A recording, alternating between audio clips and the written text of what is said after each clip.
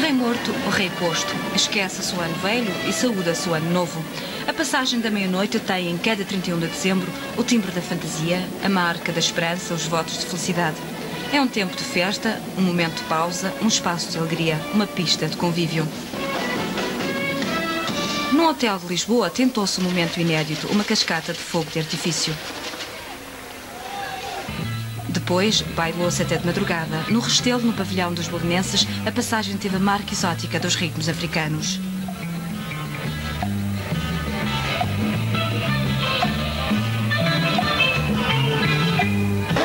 Finalmente, uma pequena brasa à nossa sardinha, com um sabor evocativo ali na Gar Marítima de Alcântara, onde se passeia a alma e o gênio de Almada Negreiros, os jornalistas, um pouco apertados, rodopiaram, cantaram e saltaram.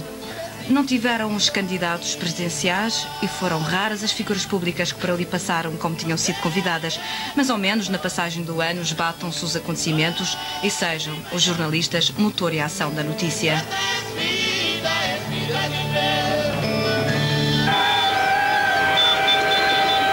Na Baixa Portuense, tal como naturalmente nos principais centros de cidades e vilas do país, a passagem de 85 para 86 foi ruidosa e alegremente assinalada. A pouco depois das 23 horas, o trânsito começou a intensificar-se junto à Avenida dos Aliados no Porto, onde algumas centenas de pessoas, apesar da chuva, receberam os primeiros segundos de um ano que se deseja traga, acima de tudo, saúde e felicidade. A rádio fez intervenções em direto da Baixa da Invicta, num exemplo de que a passagem do ano é para uns de folia e para outros de trabalho, sem esquecer que para muitos é de sofrimento e tristeza. Mas tristemente ou não, há sempre uma garrafa de champanhe, quanto mais não seja para fazer figas aos momentos menos bons que possa trazer mais um novo ano. Mas não só na rua as pessoas festejaram o Réveillon, até porque o tempo não estava convidativo. Discotecas, restaurantes, hotéis, casinos, casas particulares não faltaram sítios a preços variados para quem quis entrar com o pé direito no novo ano.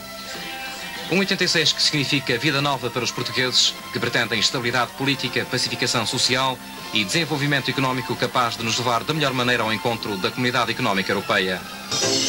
A maior parte das festas realizou-se nos hotéis e discotecas, numerosos em todo o Algarve, que nesta noite de passagem de ano se encheram de muita gente divertida e bem disposta. Nomes conhecidos do mundo do espetáculo e das variedades animaram e abrilhantaram os festejos. Música serpentinas muito espumante foi neste ambiente que se celebrou no Algarve o fim de 1985 e o começo de 1986. E não faltou quem, à meia-noite em ponto, se lançasse de cabeça na piscina, apesar do tempo estar pouco convidativo para proezas deste género. O frio e a chuva, pouco característicos da região algarvia, fizeram neste fim de ano a sua aparição. E o resultado está à vista. No primeiro dia de 1986, praias desertas, à exceção de um ou outro turista mais afoito, porque até mesmo os estrangeiros, apesar de habituados a climas pouco aprazíveis, têm preferido o ambiente acolhedor dos hotéis onde estão instalados.